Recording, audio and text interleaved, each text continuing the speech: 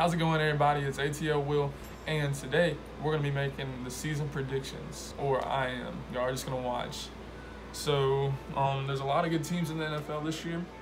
So if your team didn't get in the playoffs or win the Super Bowl, I'm sorry. And you have to take everything I say in this video 100% serious because that's exactly what's going to happen this season. Obviously I'm just playing but I got my iPad and I went through on playoffpredictors.com and predicted every single game all week one through the Super Bowl. And this is what I came up with. So let's get it started. Um, let's start out with the AFC North. And the AFC North, um, what I ended up with was and the Ravens won the division with a record of 10 and 6, 10 and 6. Um, the division record was 5 and 1. The Steelers went 10 and 6 with 4 and 2 in the division. The Browns went 10 and 6, missed the playoffs, went 2 and 4 in the division, and the Bengals went 4 and 12 with 1 and 5 in the division. Uh, there was almost three playoff uh, teams, and it was very close. It came down to week 17 for the Browns, just for another team to kick them out. And you know, I think the Browns got a good squad. It's just I don't think they're Super Bowl ready. but I don't think they're Super Bowl ready. So I don't even think they're playoff ready. Obviously, they didn't make playoffs in this. Uh, so I mean, they went 10 and 6, but they just missed the playoffs. And the Ravens, uh, good squad. Uh, I kept picking them. I don't. It just ended up happening that way because their schedule just seemed much more easier than the Steelers, and they just overall have a better team. You know, they're gonna be great in a few more years, and yeah, you get to see how that division does in the playoffs later on in the video.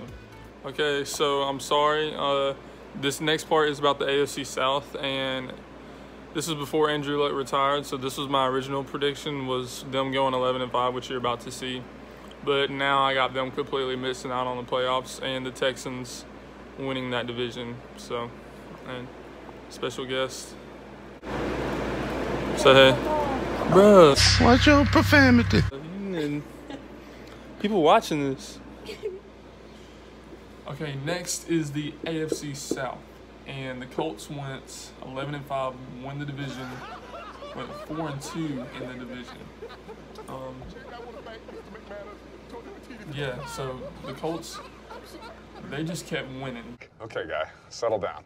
Just like the Ravens. Uh, Andrew Luck, I don't know about how his injury is. I drafted him as my quarterback in fantasy.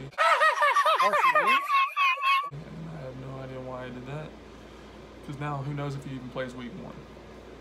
But despite that, just because of the room injuries, I made the Colts lose like the first two games, just in case. They had a cupcake schedule. So they went 11 and 5. They went 4 and 2 division. And the Texans got second in the division at 10 and 6, 3 and 3 in the division.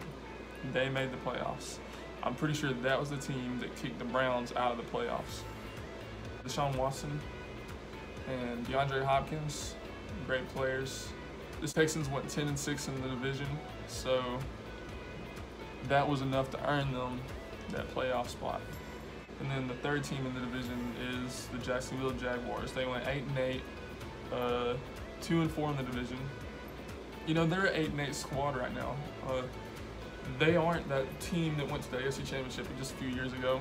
I mean, Nick Foles is on that team, other than Blake Bortles, but they just had a bad year last year, and they're gonna have an average year this year. There's no way they make that jump back from their record last year to the championship caliber team that they used to be. So they go eight and eight, and the 14th division is the Tennessee Titans, who went four and 12, and three of those wins were from the division, and the other win was against the Buccaneers. I remember picking it. And let's move on to the AFC East. I think the obvious division winner in this division is um, the Buffalo Bills. No, I'm playing. It's the New England Patriots. They went 12 and 4, 5 and 1 in the division. So, and that wasn't enough to get them a first seed. They were the two seed. They actually got the two seed. And the second place uh, in the division went to the New York Jets. Barely missed out on the playoffs. They went nine and seven, three and three in the division. They're gonna have a good future. Sam Darnold's a great quarterback. Just watched my Atlanta Falcons play them last week on the preseason game. They had a great squad. The third team is the Miami Dolphins, who go four and 12, two and four in the division. Not much you can really say about them. And fourth team, they went. The Buffalo Bills went three and 13, two and four in the division. And not much you can say about them either. They're just one of those teams that are rebuilding, and they're just at that stage right now where they're trying to figure a bunch of crap out. So let's move on to the AFC West. The AFC West, the Kansas City Chiefs won the division, went 13 and 3, 5 and 0 in the division. That's the first seed. They beat out the Patriots for that top spot. So Patrick Mahomes, I mean, people have been talking about he's going to have a letdown season. There's no way. I mean, he's running the same system, the same people pretty much, other than Kareem Hunt, are around him. So I see them having a great year. 6 0 in the division, my fault. And uh, the San Diego Chargers are second in the division, going 8 and 8, missing out on the playoffs, going 2 and 4 in the division. The third team in the division is the Oakland Raiders, who went seven and nine and three and three in the division. Not enough to get into the playoffs, but bright future down the line is certainly for them, considering the recent seasons they've had. And the fourth team is the Denver Broncos, who went five and eleven and one and five in the division. And I think that only win was against the Raiders that they had in the division. And now let's move on to the NFC. And let's start out with the NFC North. The NFC North's division winner was the Chicago Bears. They went 11 and 5, 5 and 1 in the division, which is the third seed. They ended up getting the third seed. They there's a lot of other good teams. The second uh, second place in the division was the Green Bay Packers we missed out on the playoffs barely at 10 and 6 and 3 and 3 in the division. And I just see the Packers, I mean, they're not good anymore, really. You know, they're getting a new coach this year, a new system that they're having to learn. And it's going to be Aaron Rodgers is a great quarterback, but there's one thing about Aaron Rodgers that isn't good, and that's just sometimes his mentality can be off. And he's a great quarterback, but sometimes he's hard to get along with so I've heard. Third place in the division is the Minnesota Vikings, who went eight and eight and three and three in the division. And people were calling for Kirk Cousins' head because he didn't have a great year, and I could definitely see that happening. The Vikings had a great uh, team around them, great defense, and got some good offensive weapons. So I think that's what we'll see happen this year. And Kirk Cousins is going to be sometime. And the fourth team in the division was the Detroit Lions, who went six and 10, one and five in the division. And you know, poor Lions fans. Lions fans haven't had much of a team, and they haven't had really anything to cheer for. And I don't, I don't see anything changing for them. And that makes me makes me feel for them. The next division we got is the NFC South and the division winner is going to be the Atlanta Falcons. I mean, shit, y'all expect anything else? I'm sorry. Uh, 12 and 4. Uh, first seed. So, 4 and 2 in the division, the, but it's only two losses to the Saints and Panthers. And the second team is the New Orleans Saints, who went 11 and 5, 4 and 2 in the division, just like the Falcons and make the playoffs with the fifth seed. And the third team is the Carolina Panthers, who went 9 and 7, 4 and 2 in the division, missing the playoffs barely. And the fourth team is the Tampa Bay Buccaneers going 4 and 12 and 0 and 6, not winning a single game in the division, getting swept by the whole division. The other division is the NFC East. So in the NFC East, I had the Dallas Cowboys winning, going 11 and 5, sweeping the division, going 6 and 0, fourth seed. The second place team is Philadelphia Eagles, who was 7 and 9, 1 and 5 in the division, and missing on the playoffs. Sorry, Eagles fans. The third team is going to be the New York Giants, who went 6 and 10, 3 and 3 in the division, missed the playoffs. Daniel Jones comes in later in the season, wins a couple of games. That's what I had down in my predictions. I made the Giants lose a couple of games in the beginning and contended that Daniel Jones came in. And I see Daniel Jones having a great year. I believe in that dude. The fourth team is the Washington Redskins, who went 5 and 11 and 2 and 4 in the division. So, missing the playoffs, obviously. And the other division we got is the NFC West.